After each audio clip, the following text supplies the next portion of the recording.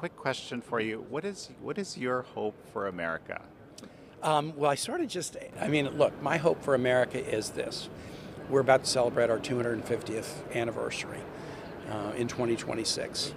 And um, every generation has the burden on the shoulders to make sure that the democracy is thriving and improving. And then, just like Joe Biden put the torch of leadership in a new generation, those of us who are, care about democracy have to put a functioning and improving, not perfect, but improving democracy in the hands of our kids and grandkids. And I believe we'll be able to celebrate America at 250 in 2026, feeling like we have done that. So you're up for re-election Yes. this year. Tell me a little bit about how you think that's going to go. I feel good about it. You take nothing for granted. This will be my third term in the Senate, but 30 years in elected office.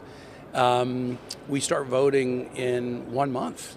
In Virginia, September 20, we start early voting. So you really do feel like you're in the home stretch when you can say 30 days to the first votes are being cast. But I feel good about my race, and I really love the opportunity to serve Virginians. And there's a lot of things in the Senate I still want to get done. Final question: If there's one big thing you want to see happen uh, before the election is over, what would that be? before the election is over. You know, I guess something that'll make I want to I, I want Kamala Harris and Tim Walz to win. That's the most important thing.